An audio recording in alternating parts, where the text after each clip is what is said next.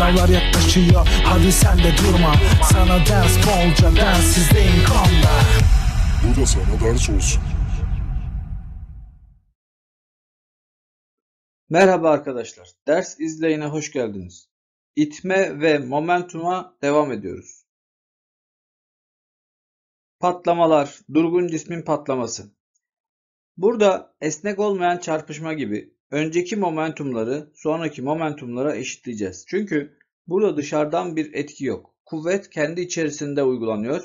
Dolayısıyla önceki momentum, örneğin burada duran cismin momentumu sonraki momentuma parçalanan cisimlerin momentumuna eşit olacaktır. Durgun 4m kütleli cismin iç patlama sonucu önceki momentumu 0, sonraki momentumlar toplamı da 0 olması gerekir. Sola doğru giden, sola doğru gittiği için eksi olarak yazıyorum. 60 çarpı m kadar momentuma karşılık sağa doğru giden 3m çarpı v2 momentumu vardır. Buradan 60m o da eşittir 3m v2'den v2 hızı 20 metre bölü saniye olacaktır. İlk momentumu 0 olan 5 kilogramlık cismin patladığında 3 parçaya ayrılıyor ve bu parçaların toplam momentumu gene 0 olması gerekir. Parçalardan biri sola doğru 15 çarpı 1 ile gidiyor. Diğer parça aşağıya doğru 2 çarpı 10 momentumla gidiyor. Diğer parça 2 çarpı V momentumuyla hareket ettiğinde toplam momentum 0 olması lazım. Buradaki işlemi vektörel olarak yaparsak sola doğru 15, aşağıya doğru 20 ve üçüncü parçamızın uyguladığımız momentumla beraber 0 olması gerekir. Buradaki Pisagor'dan 15'in karesi 90 derece olduğu için artı 20'nin karesi o da eşittir 2V'nin karesine eşit olacak. 15'in karesi artı 25'in kare 20'nin karesi 3 4 5 üçgeni ediyor burada. 2V eşittir 25 eder. V eşittir buradan 25 bölü 2 metre bölü saniye olarak çıkacaktır.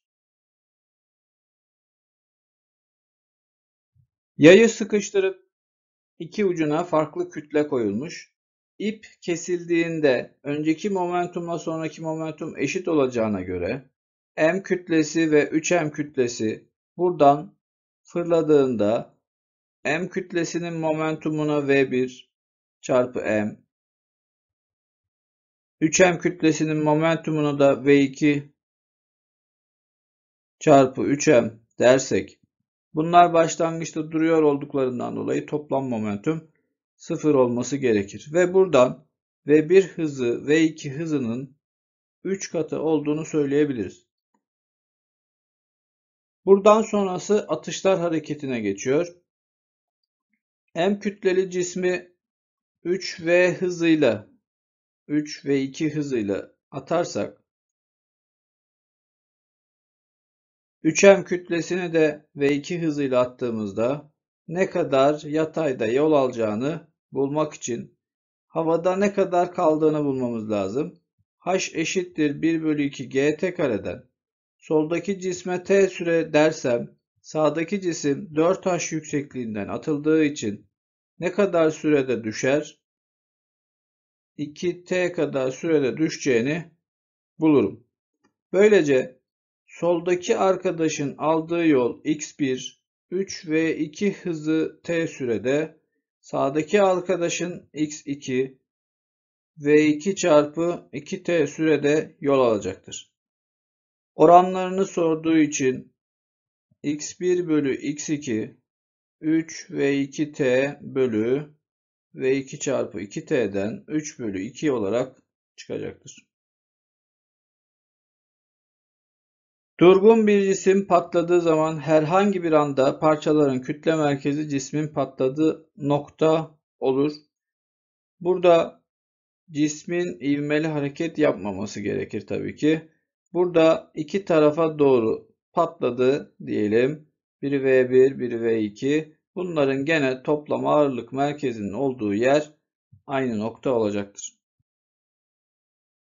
3M kütleli cismin başlangıçta durmakta olduğu için toplam momentumu 0, daha sonraki parçaların da toplam momentumu 0 olması gerekir. Bir süre sonra M kütlesinin bulunduğu yer ve diğer M kütlesinin bulunduğu yerin gösterimi aslında bunlar neyi gösteriyor? Bize hız vektörlerini gösteriyor. Kütleler de eşit olduğu için momentumlar direkt hız vektörleri kadar diyebiliriz. Burada m çarpı v1'in momentumu artı m çarpı v2'nin momentumu. Üçüncü parçayı eklediğimizde m çarpı v3'ün momentumu ile toplamı sıfır olacak.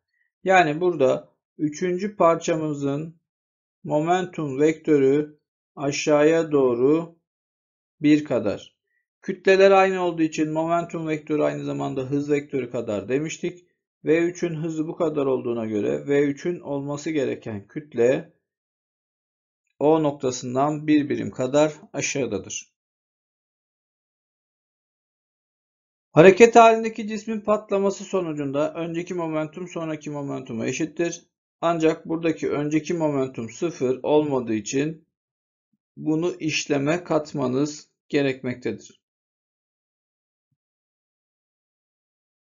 Örneğin patlamadan önceki durumu göz önüne almanız lazım. Atışlar hareketinde de olabilir. Atışlarda önceki bir hızı verebiliyor. Bir süre sonraki anda çarptığını, patladığını söylüyor. O anda ki hızını bulmanız gerekebilir.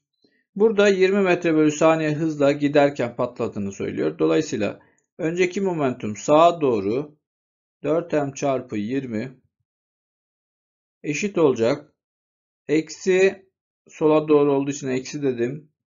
3m çarpı 60 artı m çarpı soru işareti. Dolayısıyla buradan 80m o da eşittir. Eksi 180m ediyor. Buradan üçüncü parçamız m kütlesinin hızı 260 metre bölü saniye oluyor. Sürtünmesiz ortamda O noktasından şekildeki gibi atılan 3 kilogramlık cisim maksimum yüksekliğe geldiğinde M ve 2M parçaya ayrılıyor. Yatay olarak saçılıyorlar. 2M kütleli parça serbest düşme yaptığına göre. Şimdi bu noktaya geldiğinde bunun yatay hızı Vx diyeyim tepe noktasına geldiğinde yatay hızı Vx değişmeyecek. Düşey hızı sıfırlanacak. Bize atıldığı andaki hızı lazım. Atıldığı anda 3m çarpı Vx kadar momentumu var. Bu momentuma parçaların toplam momentumu eşit olması lazım. 2m serbest düşme yaptığına göre m kütlesinin hızını buradan çekersek 3 Vx olarak buluruz. 3 kütleli cisim h maksimuma çıkmak için geçen süresi t ise tekrar aşağı doğru inmek için geçen süresi de t kadar olacaktır. Burada vx hızıyla yatayda t kadar sürede d kadar mesafe aldığına göre 3 kilogramlık atılan cisim için konuşuyoruz. Şimdi burada patladığında m kütleli cisim yatay atış hareketi yaptığında 3Vx ile ne kadar yol alacağını bulmaya çalışacağız. Gördüğünüz gibi 3D kadar yatayda yol alıyor. Ancak dikkat edin O'dan dediği için buradan itibaren biz buradan itibaren 3D kadar diye bulduk. O'ya göre bakarsak O'dan itibaren D artı 3D dememiz lazım. Yani toplam 4D mesafe olmuş olacak. Bir sonraki derse görüşmek üzere. Sağlıcakla kalın.